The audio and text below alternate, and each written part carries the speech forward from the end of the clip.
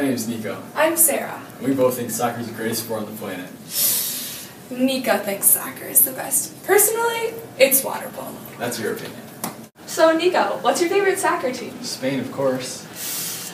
That's not going to be good. Did you know that no European teams have won the World Cup outside of Europe? No, I didn't know that. Well, even worse, 2014 World Cup in Brazil. Oh my. You know the 2010 World Cup soccer ball is called the Jabulani? That means bringing joy to everyone in Zulu. I didn't know you could speak Zulu. Did you know that the traditional soccer ball is actually a geometric marvel of engineering? Right. This soccer ball is made up of 12 pentagons and 20 hexagons. These two shapes are stitched together to make a three-dimensional sphere.